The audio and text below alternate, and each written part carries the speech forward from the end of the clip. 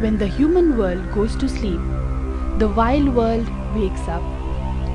You can have close encounters with the wild side of nature at Singapore's Night Safari, the first nocturnal zoo of the world.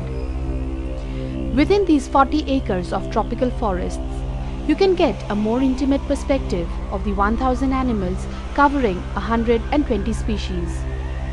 From ferocious predators to timorous animals, the park presents a myriad variety of fauna to entice and excite the visitors, which include giant flying squirrel, serval, bongo, the largest of forest antelopes, Cape giraffe, Himalayan thar, red dhole, Asian elephant, giant anteater, Malayan tiger, babirusa, Indian rhinoceros, hyena, sloth bear, and Gir lion, among others.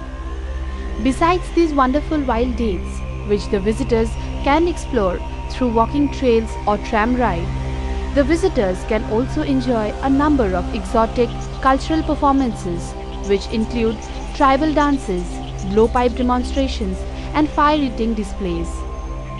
Don't miss out on the creatures of the night show, where visitors may get the thrill of the feel of action.